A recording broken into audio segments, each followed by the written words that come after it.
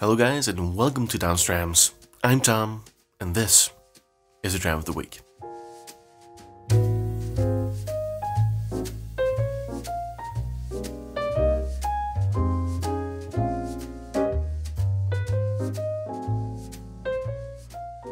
Alright guys, welcome once again, thanks for watching. Today we're taking a look at the Longmorn Distiller's Choice. Uh, this one is 40% ABV, so it's not really that high of a proof, um, but it is from a very famed uh, whiskey distillery, Longmorn.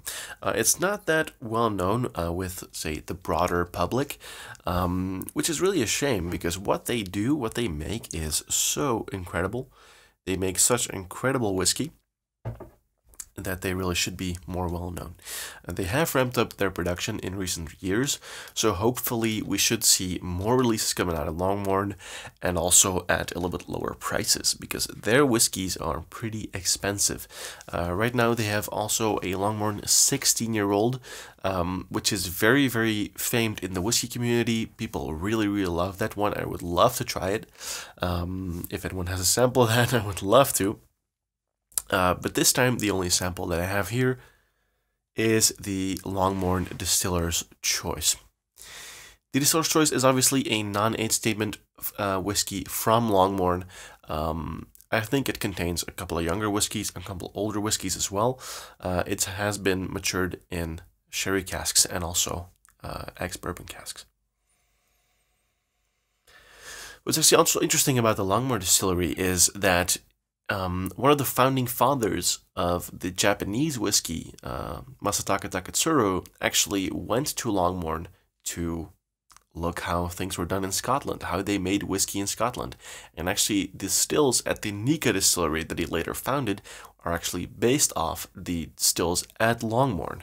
So that's a little bit of an interesting fact right there that, uh, you know, I'm giving away to you for free. Um, so this particular whiskey is very, very, very nice. uh, it is non-age statement, and for me, usually, if you've seen a couple of my videos, 15, 18 years old is usually my sweet spot for whiskey. This one doesn't have an age statement. I'm guessing the average age of the whiskey in here is about 8 to 10 years old, but I can't really verify that.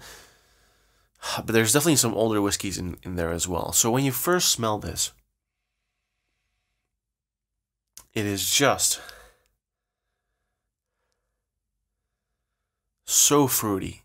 It is intensely fruity. It's like a yeah, it's like a, a fruit basket full of different kinds of fruits. The first thing that really hit me when I first smelled this one, the very first time, was ginger.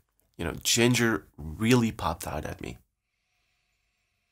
And then overall, there's this overwhelming fruitiness apples, oranges, you know, the typical Speyside fruits, but they are much, they are very intense here. It doesn't really smell like sherry either, like a lot of heavily sherried Speyside whiskies. You know, you really get all those distinct sherry notes, but in this case, it's a little bit different. You know, it's a little bit fresher than that.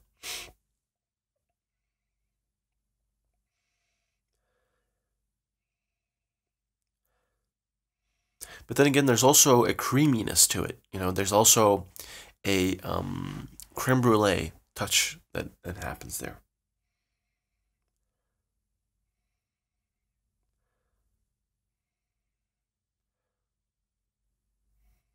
Let's give it a taste.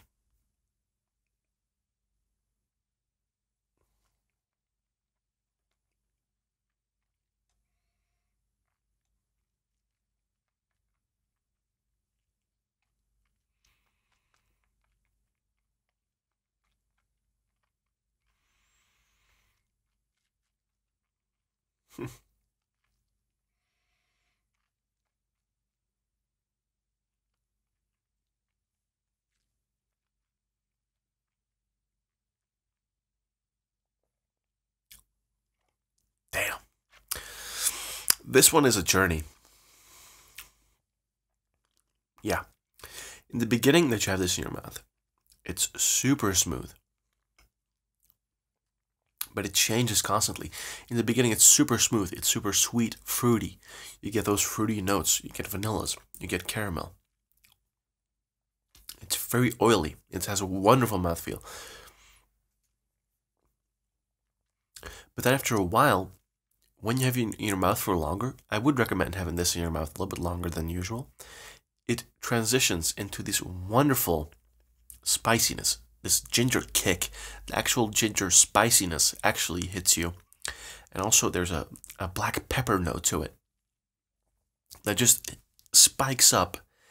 And then once you swallow it, it goes right back down. And, you know, it comes back again on the finish, but it kind of transitions between being there and not being there. It's it's kind of like a wave of spice, you know. It's so interesting because there's a constant sweetness, and then that spiciness kicks in with a spike once you have it in your mouth. It's not unpleasant at all. It's a wonderful spiciness. Um, there's no bitterness to it at all. But at the far end of the finish right now, it starts transitioning into a nice coffee, but not like a espresso, you know, not like a black coffee, more like a latte, but a little bit, little bit of that coffee edge to it. Um, so there's definitely some coffee notes in here. But man, this is a wonderful, wonderful malt. For a non-age statement whiskey, this is very good. This is actually one of my favorite Speyside whiskeys I have ever tried. Um, and that really is saying something I have tried a couple. You can check out the spreadsheet uh, below if you want to see all the ones that I have tried. So I have those to compare to it. But this one is very nice. Let's let's have another sip here.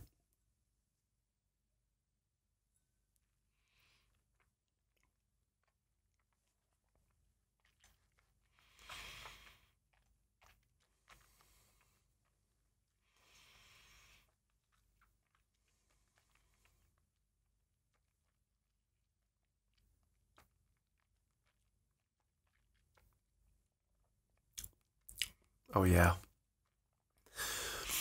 This one is really worth spreading around your entire palate.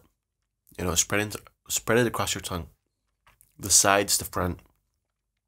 Just, it engulfs everything with that nice spiciness, the nice sweetness.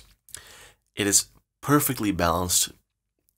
This one is really nice. It's a really, really great whiskey, and that's why I thought it was worth making a little review about it and making it the dram of the week because this is just one fine whiskey. There we go. Longmorn Distiller's Choice. I would love to try the 16. Uh, I heard really good things about it. Um, I think the 16, in terms of flavor profile, seems to be pretty similar as far as I what I can hear uh, on the internet from other reviewers. Um, the flavor profile seems pretty similar to this one. Um, but the 16 is supposedly a little bit more oily. This one does have a little bit of an young edge. Um, I wouldn't say the youngness really jumps out at you. Like I've had another uh, whiskey this week, was which was the Glengarry uh, six-year-old release, and that one really was metallic and and pungent and really strange. Um, this one doesn't have that at all. So this one, you wouldn't really tell this is a very young whiskey, except if you are an experienced whiskey taster. You start to you know, recognize certain very subtle things like slightly metallic notes on the far edge of the finish, things like that. Um, this one doesn't really have that, but there is a slight hint, you know, some slight hints that give away this has some younger whiskeys in it, but there's definitely mature whiskey in there as well. It's perfectly blended, in my opinion. Uh, a very nice whiskey. It's not cheap for non non age statement whiskey, but for one of the best Speysides I have tried, I think it's probably worth it to pick up a bottle of this one if I can find it, because that is kind of the problem with Longmorn. It's pretty hard to find, uh, but then again, it is worth it. Thank you very much for watching, and I'll see you next time.